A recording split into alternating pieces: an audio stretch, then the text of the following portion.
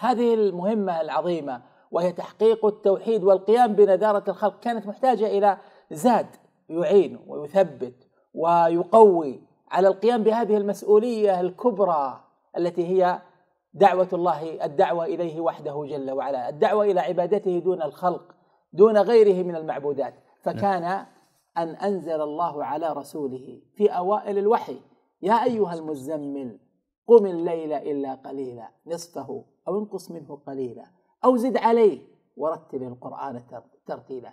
لما هذا يا رب؟ إنا سنلقي عليك قولا ثقيلا.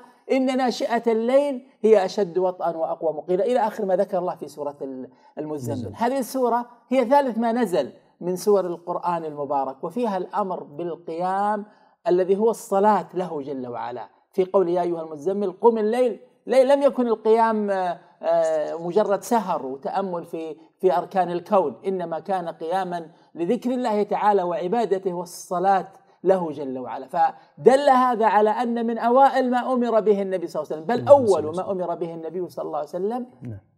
الصلاة بعد التوحيد. وهذه الصلاة إعانة. ولهذا جاء الخبر بأن الله تعالى أمر المؤمنين قال واستعينوا بالصبر والصلاة. فالصلاة إعانة على مواجهة كل ما يحتاج الإنسان إلى مواجهته من أمر دينه أو من أمر دنياه. ولذلك جاء في مسند الإمام أحمد بإسناد لا بأس به من حديث حذيفة أن النبي صلى الله عليه وسلم كان إذا أكرثه أمر يعني آه، حزبه, حزبه شيء نعم. من أمر دينه أو أمر دنياه فزع إلى الصلاة صلى الله عليه وعلى آله وسلم.